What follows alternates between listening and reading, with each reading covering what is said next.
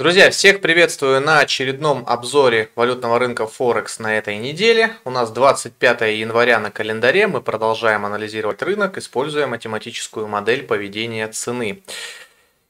Так, понедельник получился у нас достаточно живой, прямо скажем, S&P даже вчера заставил немножко понервничать, но несмотря на его такое волатильное движение, есть целых две хорошие новости. Хорошая новость номер один, покупатели под на S&P 500 все же есть, и все-таки они готовы покупать его, это мы видим по вчерашней динамике, и очень хорошо, что эти покупатели обозначились прямо сейчас, а не тогда, когда мы улетели в тартарары.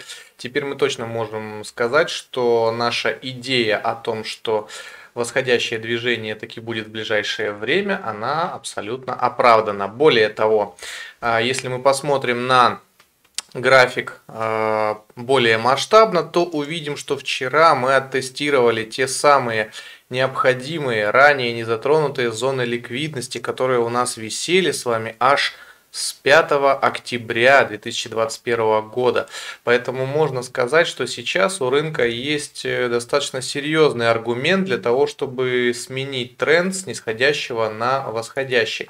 Поэтому а, с текущего момента мы уже будем искать какие-то небольшие коррекционные движения для того, чтобы нам присоединиться к восходящему движению, к потенциально начинающемуся восходящему движению.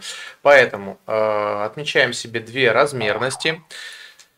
Так, эти размерности у нас попадают примерно под э, уровень минимальной коррекции по отношению к последнему восходящему движению. Ну и плюс здесь же у нас есть такая небольшая проторговочка. Поэтому ожидаем небольшого спуска S&P 500 и примерно от котировки 43.24 начинаем а, покупать. Это уже у нас будут сделки а, рассчитанные на движение внутри дня ну, максимум с переносом на следующий день. Это я имею в виду по, э, ну, по потенциалу. То есть потенциал в эти сделки мы большой закладывать не будем, нет смысла. Мы и так их будем держать до момента достижения глобального максимума но по большому счету в безубыток их стоит переводить уже при а, пробое следующего пивота. То есть пробили вчерашний пивот, перевели в безубыток. Дальше нашли следующую сделку, тоже по коррекции.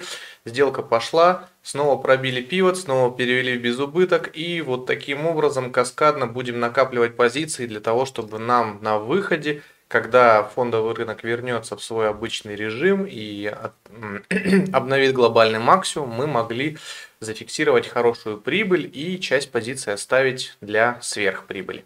Вот такой план по S&P 500. Идем дальше. Евро-доллар. По евро-доллару вчера а, покупки у нас не пошли а, внутридневные по трехсоставному по трехсоставному а, движению. В итоге упали мы вниз каскадно и выполнили другую размерность, а именно ну, вот эту вот предыдущую нисходящую. А, что будем делать сегодня? Так, Думаю, что каждый из вас заметил, что мы двигаемся в некоем таком нисходящем трендовом канале, поэтому пока что у нас э, в таком трендовом канале здесь покупки носят э, не самый, наверное, симпатичный, не самый главный характер.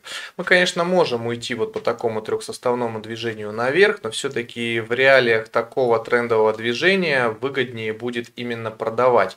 Поэтому мы с вами подождем трехсоставного коррекционного восходящего движения и от котировки 1 1.13 481 совершим продажу внутри дня. В этом случае стоп у нас будет очень небольшой, порядка где-то 12-13 пунктов.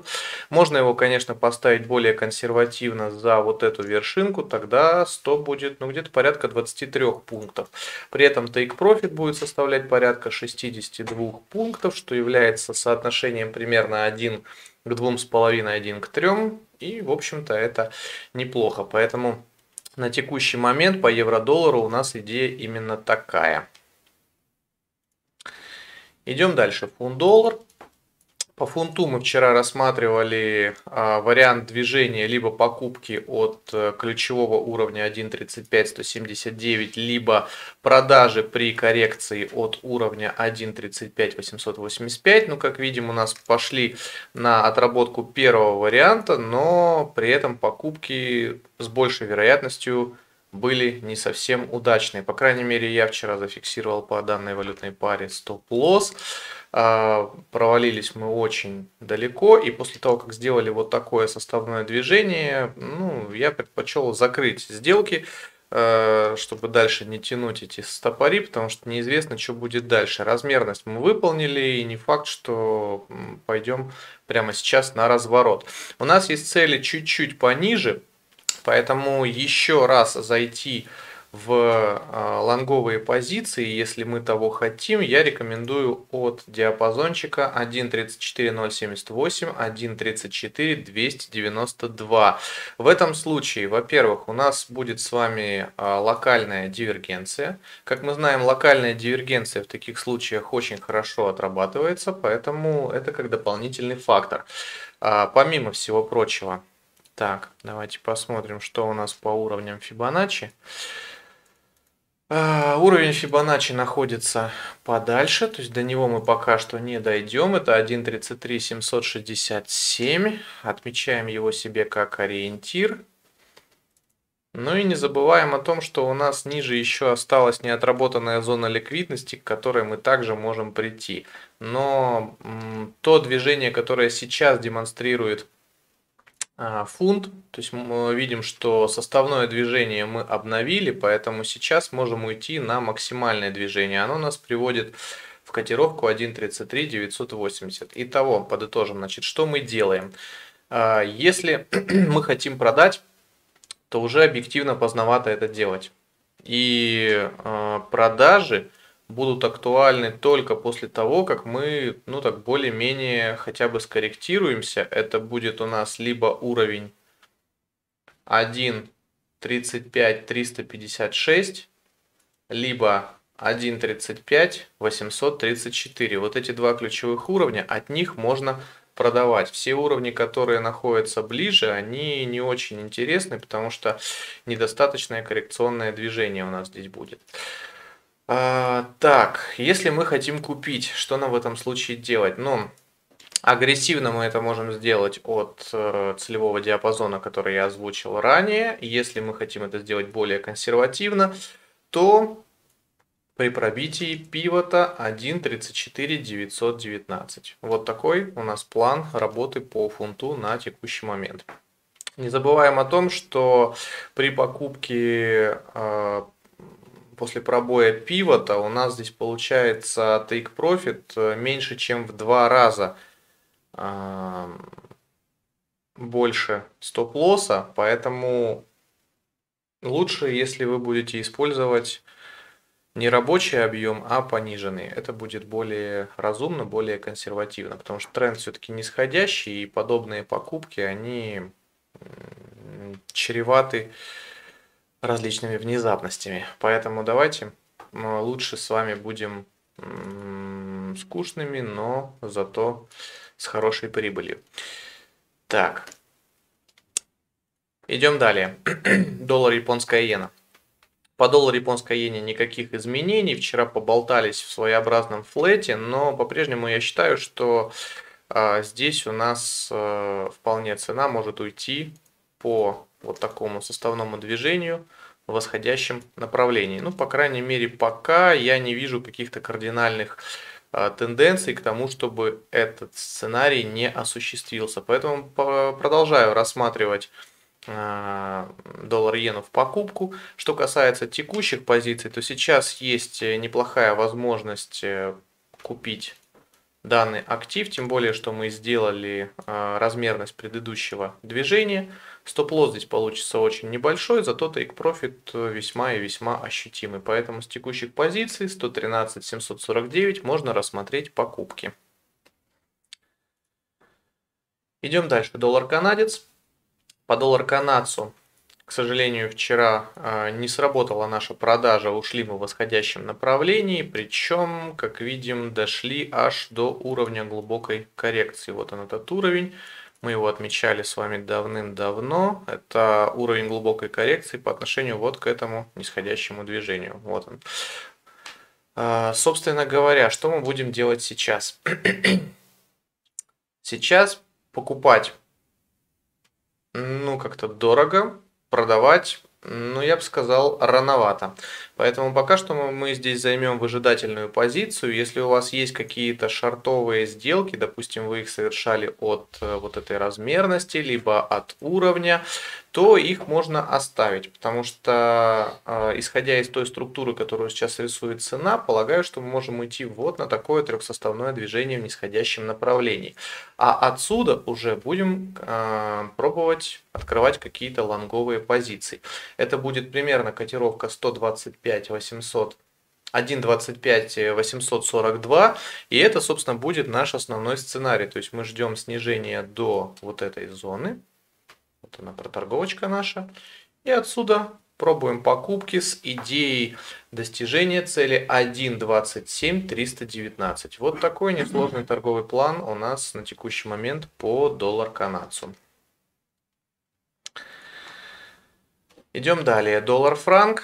Доллар-франк на трехсоставное движение вчера не пошел, продажи у нас не получились. Не сработал этот план, но с другой стороны мы ничего не потеряли, что тоже, в общем-то, неплохо. Спустились вниз, сделали новую размерность. Обратите внимание, такой размерности у нас еще не было. Ну, разве что вот здесь она была, но она такая неявная, поэтому бесполезно ее пытаться как-то здесь подогнать.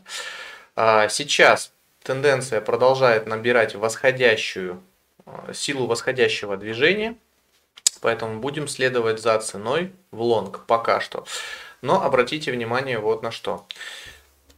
Цена по большому счету находится в небольшом флете. У нас пока не пробит локальный максимум. Поэтому э, просто тупо покупать, потому что цена вроде идет вверх, это ну как-то не совсем хочется, если честно. Давайте сделаем следующее. У нас есть вот такие понятные размерности. Дождемся, когда цена выполнит эту размерность, это будет котировка 0.91 725. Из этой э, области, соответственно, мы дождемся коррекцию к пивоту 0.91 575 и отсюда совершим покупку. В этом случае, во-первых, у нас будет очень небольшой стоп-лосс, порядка где-то 17-18 пунктов. При этом take profit первый будет порядка 22 пунктов, то есть соотношение примерно 1 к 1, но по крайней мере внутри дня мы сможем эту сделку проконтролировать. И ну, затем уже для себя понять, нужна нам такая сделка дальше, хотим мы ее держать или нет. По большому счету, э, в данном случае мы рассматриваем движение вот на эту размерность. Эта размерность нас по итогу приводит в котировку 0.91 947, что примерно будет по, эм, по профиту 36 пунктов. Тоже такая не самая а, глобальная сделка, скорее среднесрочная, краткосрочная. Вот, но давайте попробуем эту ситуацию отработать. Так, идем дальше. Австралиец доллар. По австралийцу вчера также мы упали, как и по некоторым другим валютам. У австралийцев, в принципе, есть свой драйвер. Э, насколько я помню, там вышли не самые а, позитивные экономические новости, поэтому, в принципе, в том, что австралиец так свалился, нет ничего удивительного. В итоге размерность здесь мы также преодолели и даже превысили. Но после этого скорректировались. Что будем делать сейчас? Уровень минимальной коррекции по отношению ко всей волне вот этого нисходящего движения мы отработали. Из зоны оптимальной коррекции по отношению к вот этому движению также вышли. Поэтому по большому счету сейчас у нас актуально движение в нисходящем направлении. Само собой разумеется, что если мы посмотрим на индекс доллара, то мы увидим такую интересную картинку. Мы вчера немножко затрагивали тему индекса доллара и говорили о том, что есть хорошая возможность скорректироваться именно вот от этой зоны, потому что здесь у нас есть и размерности, и ключевой уровень 95 984. И то, что мы видим, как бы доказывает, что наша теория, она имеет право на существование, если можно так сказать. Поэтому э, я предположу, что индекс доллара может уйти вот по такому сценарию в нисходящем направлении, то есть через разворотный паттерн с ретестом уровня 95 984. А исходя из такого сценария, у нас э, в реальности может австралиец доллар, ну, просто через тот же самый разворотный паттерн уйти в восходящем направлении. Поэтому, поэтому, что мы будем здесь с вами делать? Давайте так, а, покупать сейчас, ну, не очень хочется, потому что тренд здесь явно сменился на нисходящий. Поэтому в покупке лезть не хочется. Продажи сейчас уже поздновато здесь делать. Тот, кто торгует по индикаторам и заходит по рынку, ну, вы на самом деле можете пробовать продажи, но э, я просто смотрю, что пока цена вниз не собирается, и нужно дождаться открытия Европы. И лучше будет подождать вот такого трехсоставного движения в область цены 0.72106. Это уровень глубокой коррекции по отношению ко всему вот этому нисходящему движению. Показываю. Вот он, этот уровень глубокой коррекции, поэтому мы ждем выполнения вот такого сценария, именно восходящего движения сюда. И здесь уже будем открывать какие-то дальнейшие шартовые позиции. Но если вам все-таки прям хочется купить, вот вы не можете себе в этом отказать, то давайте так, а, отметим себе вот такую зону. Это у нас зона будет ограничена, сейчас скажу, ограничена котировками 0.71209, 0.71395. Вот из этой зоны вы можете попробовать поискать какие-то внутридневные покупки. Поскольку коррекцию мы сделали, цены, ну, по крайней мере, с потенциалом 46 пунктов выгодные для покупки на текущий момент. Поэтому, пожалуйста, можете попробовать поискать какие-то на 5 минутки, на 15 минутки какие-то конструкции разворотные, либо паттерны Идем дальше. Новозеландец доллар. По новозеландцу мы также спустились вчера вниз. К сожалению, пробили а, нашу зону ликвидности. Даже оттестировали с обратной стороны зеркальный уровень. Что будем делать сейчас? Так. Давайте посмотрим на более широкую картинку, что у нас на дневном таймфрейме. На дневном таймфрейме, так, ну, особо здесь ничего. Может, четырехчасовик нам что-нибудь скажет дельного. Так. Где у нас цена? Вот здесь у нас цена находится. Ну, как бы ничего нового, ничего такого сверхъестественного. Цена находится возле уровня, который неоднократно тестировался и пробивался. Достаточно такой неплохой объемный уровень, поэтому не сказать, чтобы здесь мы что-то сверхъестественное увидели. И от этого, наверное, ситуация не шибко-то понятная становится. Так, что мы здесь можем вынести из этой ситуации? Ну, давайте рассмотрим таким образом. Если предположить, что у нас здесь все-таки идет э, волна восходящего движения, то есть если вот это была волна А, а сейчас развивается коррекция волна Б, то естественно у нас атомный потенциал для того, чтобы вырасти, но это в том случае, если мы правильно поняли ситуацию. Глобально, честно, не очень хочется разбираться в этой ситуации. Так, давайте посмотрим более локально. Локально мы сейчас очень неплохо упали, причем выполнили составное движение, сделали коррекцию, но ушли дальше в нисходящем направлении. А, судя по текущей тенденции, у нас потенциал на то, чтобы дальше спускаться вниз на, такую же размерность до котировки 0.65 722. Этот сценарий я вам предлагаю отработать тогда, когда у нас а, новозеландец пробьет вчерашний локальный минимум 0.66 605.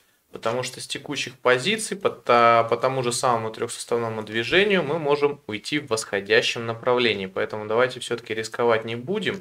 Если уж мы пробиваем этот уровень, что значит пробиваем? Это значит, что цена у нас а, часовая свеча сначала за, закрывается ниже данного уровня, затем мы здесь получаем какую-то консолидированную свечу, которая а, закрывается и открывается ниже данного пивота.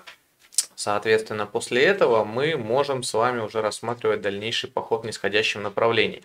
Ну а пока что я рекомендую вообще данную валютную пару не трогать, либо попробовать открыть агрессивные покупки с текущих позиций, поскольку здесь достаточно выгодные цены для покупок, всего лишь 18 пунктов стоп-лосс, ну а потенциал порядка где-то 43 пунктов, ну, плюс-минус 1 к 3, поэтому такую сделку можно совершить.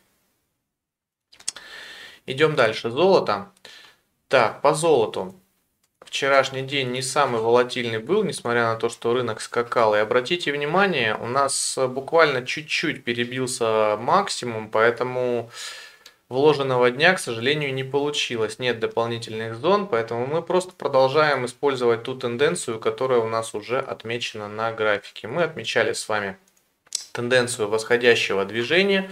У нас потенциал до 1852.31, соответственно, до этой эм, границы мы и держим наши сделки. Что касается точек входа, то здесь можно использовать те размерности, которые были получены на днях. Они, в принципе, все плюс-минус одинаковые из текущих позиций. То есть мы никаких сделок, естественно, открывать не можем, потому что это очень дорого. Ну, хотя если на 15 минутку перейти, то... то здесь можно использовать вот такую мелкую размерность.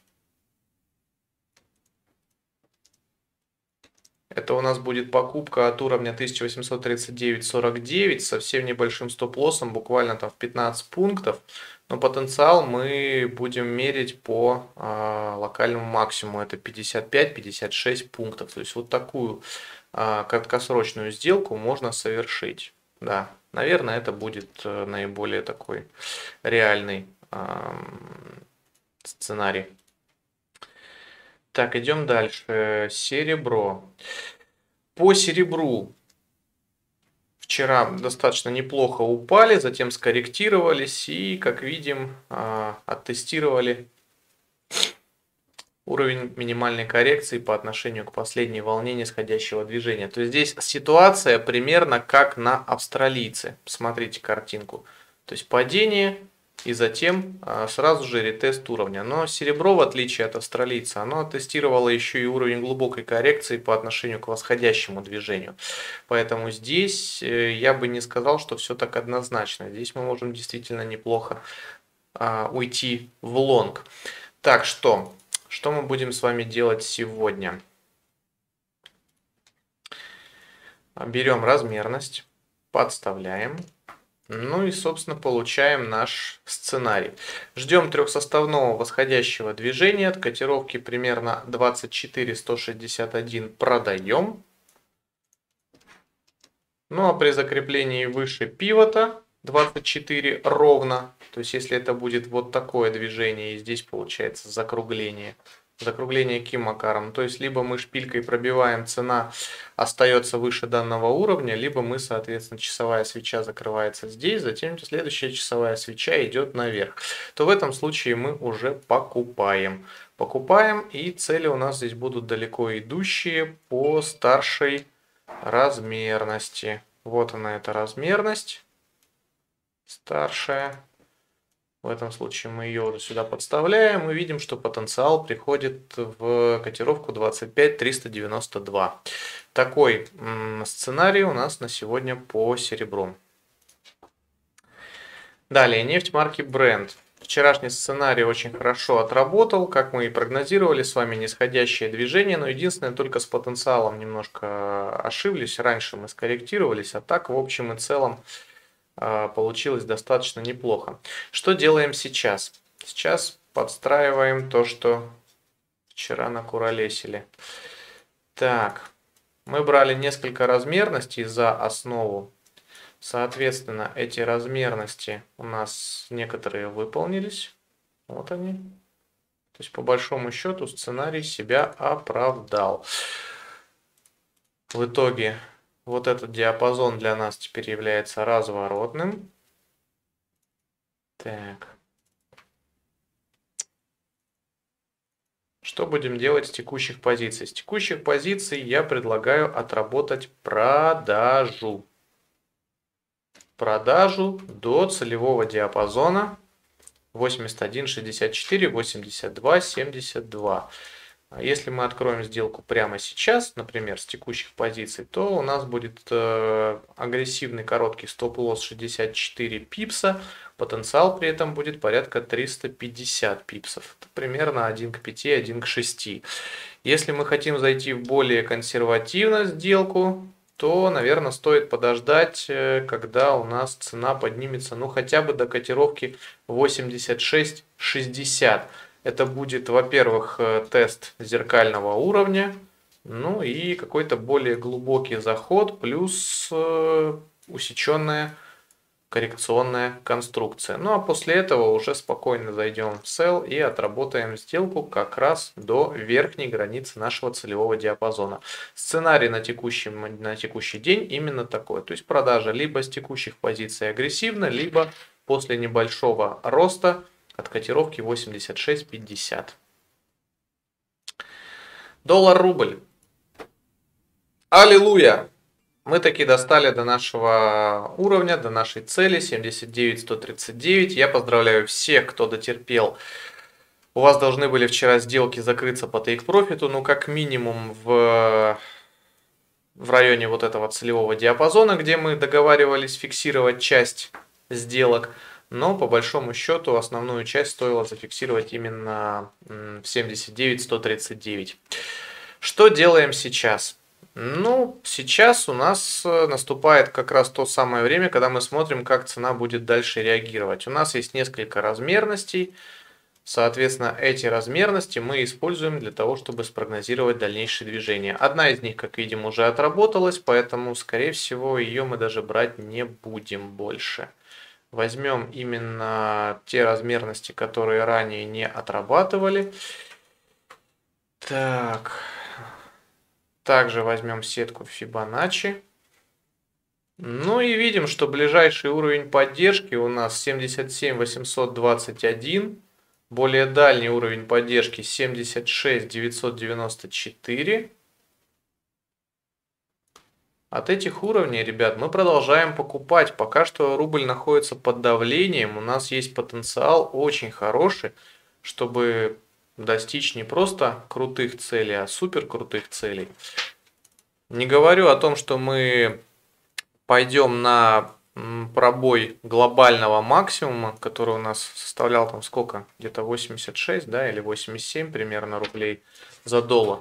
Но обратите внимание, что размерность предыдущую мы выполнили, может быть с небольшой погрешностью, но выполнили. Сейчас самый момент дождаться хорошей коррекции – и после этой хорошей коррекции присоединиться дальше к восходящему движению и отработать третью волну. Вот такой план по доллар-рублю. Так, и биткоин. По биткоину мы оттестировали ключевой диапазон, выполнили размерность, все. Я считаю, что на этом нисходящее движение по биткоину закончено. Обратите внимание на дневную картинку, если здесь, конечно, что-то вам будет понятно. Вот у нас была предыдущая размерность, мы ее взяли, сюда подставили, и вот, пожалуйста, мы выполнили то самое движение. Все, теперь самое время выгодно накапливать лонговые позиции.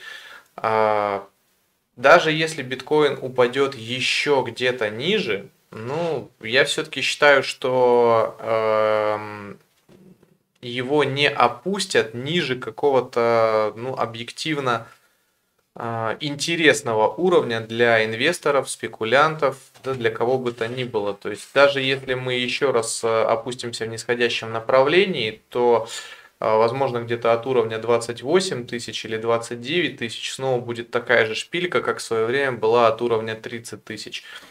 А, потому что, ну, просто потому что мы уже достаточно неплохо росли в этом, в прошлом году. Соответственно, в этом году всерьез можно рассчитывать на дальнейший рост. Поэтому ищем точки входа в покупку. Я могу предложить следующий сценарий. Так, давайте посмотрим.